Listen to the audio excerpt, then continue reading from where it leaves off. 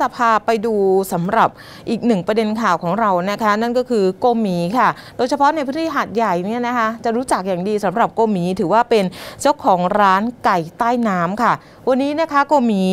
ถือว่าพร้อมทนายค่ะได้เข้ายื่นหลักฐานจากกล้องวงจรปิดเพิ่มเติม หลังถูกชายคนหนึ่งพยายามขับรถไล่ชน คืนวันตรุษจีนค่ะ แต่ตนเองแล้วก็ลูกน้องกลับถูกแจ้งข้อหากลับนะคะ เนื่องจากยิงปืนเพื่อป้องกันตัวกหมียืนยันทุกขั้นตอนค่ะ ให้เป็นไปตามกระบวนการทางด้านกฎหมายไปติดตามกันเลยค่ะ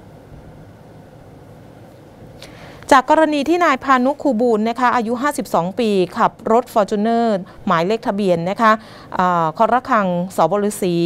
ขออภัยค่ะคอระคังฉอฉิง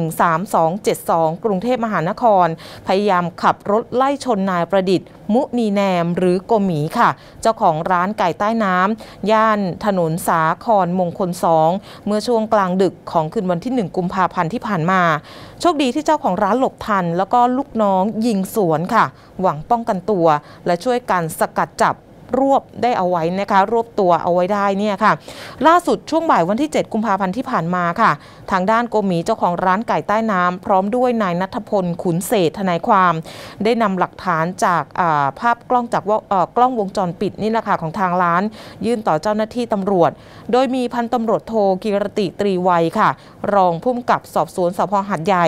รับเรื่องคดีดังกล่าว เพื่อใช้เป็นหลักฐานเพิ่มเติมนะคะ ในการเอาผิดกับคู่กรณีที่ตั้งใจขับรถพุ่งชน เจตนาประสงค์ต่อชีวิต โดยไม่ทราบมูลเหตุและแรงจูงใจค่ะ ก็มีเจ้าของร้านไก่ใต้น้ำได้มีการเปิดเผยนะคะว่า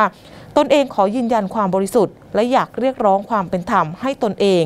ยืนยันว่าไม่รู้จักเป็นการส่วนตัวกับชายคนดังกล่าว และไม่ทราบจุดประสงค์ รวมทั้งแรงจูงใจต่อการเข้ามาก่อเหตุในครั้งนี้ด้วย ซึ่งหลังจากการตรวจสอบภาพจากกล้องวงจรปิดอย่างละเอียด ตัดสินใจเข้าร้องทุกข์ต่อเจ้าพนักงาน เพื่อเอาผิดกับคู่กรณีในข้อหาพยายามฆ่าค่ะ อีกทั้งเหตุการณ์ที่เกิดขึ้น ส่งผลต่อขวัญและกำลังใจของพนักงานภายในร้าน จึงถือโอกาสนี้ขอโทษสังคม ขอโทษลูกค้าที่ทำให้เกิดเรื่องวุ่นวายขึ้น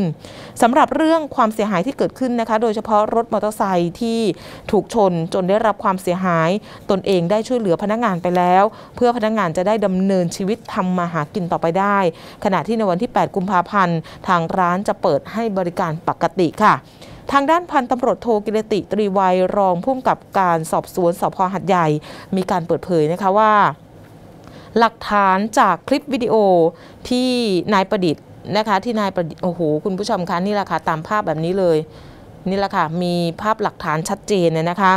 ต้องบอกว่าหลักฐานจากคลิปวิดีโอที่นายประดิษฐ์และทนายนำมายื่นเพิ่มเติมจะเร่งนำเข้าสู่สำนวนค่ะ เพื่อให้เป็นไปตามกระบวนการทางกฎหมาย ส่วนคู่กรณีที่ขับรถฟอร์จูเนอร์ชนนั้นทางสพหัดใหญ่ จะเชิญตัวมารับข้อกล่าวหาอีกครั้งหนึ่ง ภายหลังฟื้นตัวจากการรักษา ซึ่งทางญาติได้ติดต่อมาแล้วแต่ยังไม่พร้อมให้สอบสวน ยืนยันว่าจะให้ความเป็นธรรมกับทุกฝ่าย และผู้กระทำความผิดจะถูกดำเนินตามคดีกฎหมายแน่นอนนะคะ อืมนี่แหละค่ะ คุณผู้ชมคะไม่ว่าจะเดินอยู่ในถนนตรอกซอกซอย หรือว่าจะอยู่ที่ไหนก็แล้วแต่คุณผู้ชมคะระมัดระวังในเรื่องของอันตรายนิดหนึ่งนะคะ บนท้องถนนนี่แหละค่ะ